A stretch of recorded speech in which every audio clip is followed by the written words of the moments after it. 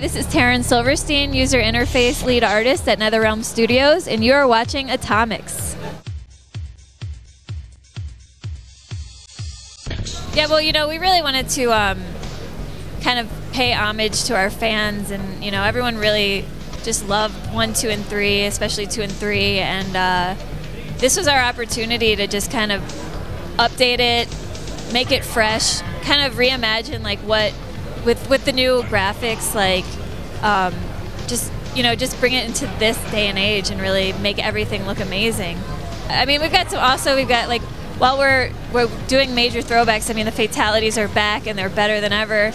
Um, we've got some new features like uh, test your luck, which is a really cool like party mode where you have like a slot machine and it brings up different modifiers. So you could like have armless combat or no blocking or no throwing, and it affects each character. Like some characters will get it, some characters won't, and it's just like a really fun way to like mix up the actual game mechanics that we already have.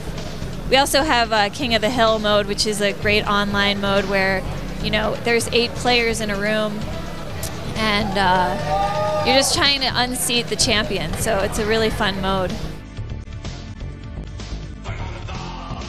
Well, you know, we really wanted to like, you know, make a game that our fans, our hardcore fans, would really love. But at the same time, we want to make a game that you know new people can feel like they can play, and we want to appeal to a broader audience than just our fans.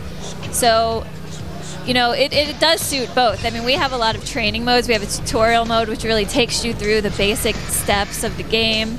Um, there's a fatality trainer, which is like the new. We've never done that before, but you know, a lot of our fans feel like the fatalities are so hard to pull off, and when you've got that like little time to do it, you just kind of freak out. So this is really gives you an opportunity to practice over and over, so you can really learn how to do them. So on that aspect, we do are we we are supporting our like new fans, but also like just if you're if you're a hardcore Mortal Kombat gamer, like you're still going to be able to beat a new new player any day because you know how to use breakers, you know how to use enhanced moves. We've got X-rays, and these are all like things that you know you can strategize how you play your game. And to someone who doesn't really know what they're doing, you're gonna you're gonna beat them. Yeah, I mean, well, number one, working on a franchise with the fan base that we have, I mean, it's all you know to work on a game that people just love is amazing. But also, like my my fellow coworkers are such a talented group of people, like on every level, from artists to programmers to the designers. You know, it's like everyone just really. We, we want to live up to the expectations that our fans have, so it really pushes us to work really hard and make make the best game that we can. Uh, I did some concept work um, in the beginning, but my true uh, title is user interface lead artist. So I oversee a group of three very talented graphic designers and uh, a programmer that design and implement all the user interface. And I do the renders of the characters. So when you're picking which character you want to be, those large renders, are, are, I do all those. Yeah, I mean, given that we were kind of like you know, the jump off point for the characters were their original costumes and they were kind of updating them. So in some ways, you know, that you know, that could be seen as limiting. I thought it was fine. I, I kind of liked having a point to go from. However, we do have alt characters that you can unlock once you play through them in the story mode. And the the alt characters are kind of our opportunity to kind of add a whole, you know, oh, add new creativity and new ideas to a character. No, I mean the you know the color swapping that we used to do to like create new characters, like that was kind of like back in the early '90s. That was like a cheap and easy way to add a, more characters to the roster. Um, but now that we're we have like they're very individualized characters, and we are able to actually design characters.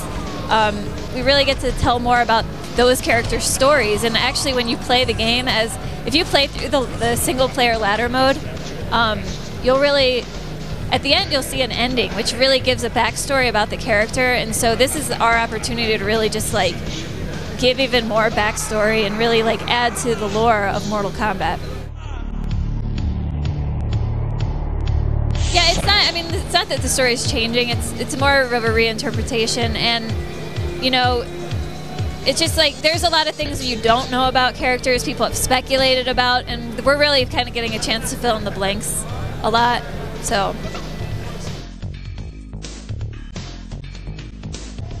Um, well, obviously, play, uh, the PlayStation 3 has Kratos, so that's a big difference.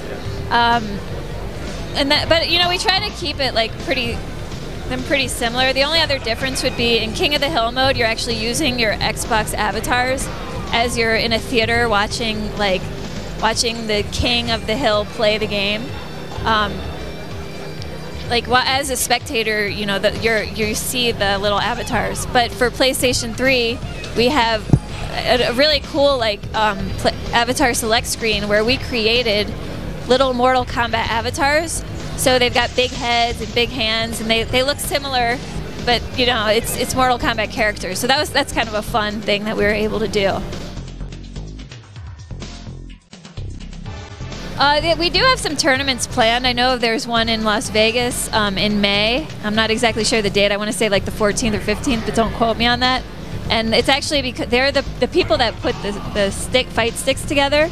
Um, they're holding that tournament, and there's like cash prizes, and it's going to be really awesome. So I mean, you know, I think depending upon how that goes, you know, I'm sure, you know, we'd love to do more.